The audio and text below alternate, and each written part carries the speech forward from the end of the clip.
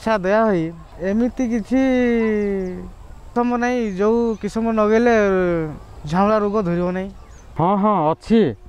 ଭାଗ୍ୟବାନ ହାଇବ୍ରିଡ଼ ବିଲାତି ଚାଷ କଲେ ଝାଉଁଳା ରୋଗ ହେବ ନାହିଁ। ଆପଣମାନଙ୍କ ପାଇଁ ପ୍ରଶ୍ନ ବିଲାତି ବାଇଗଣର କେଉଁ କିସମ ଲଗାଇଲେ ଝାଉଁଳା ରୋଗ ହେବ ନାହିଁ? ଭାଗ୍ୟବାନ ଦୟା ନାମଧାରୀ ପଚିଶ ପଇଁତିରିଶ କିସମ